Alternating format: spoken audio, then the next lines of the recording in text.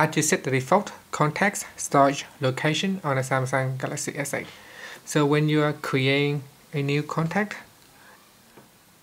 on a Samsung Galaxy S8, you can see that Samsung account is the default storage locations. Now you can change this default storage location to somewhere else, such as phone if you wanted to. So here's how you can change it. First, tap on the home key to go back to your home screen and launch the contacts app.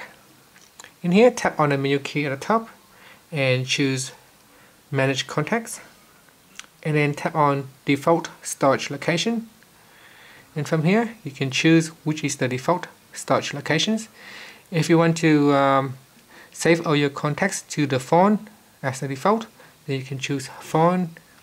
And you can see here if I uh, tap on the create button or the plus button you can see the default now has been changed to phone location instead of my Samsung account.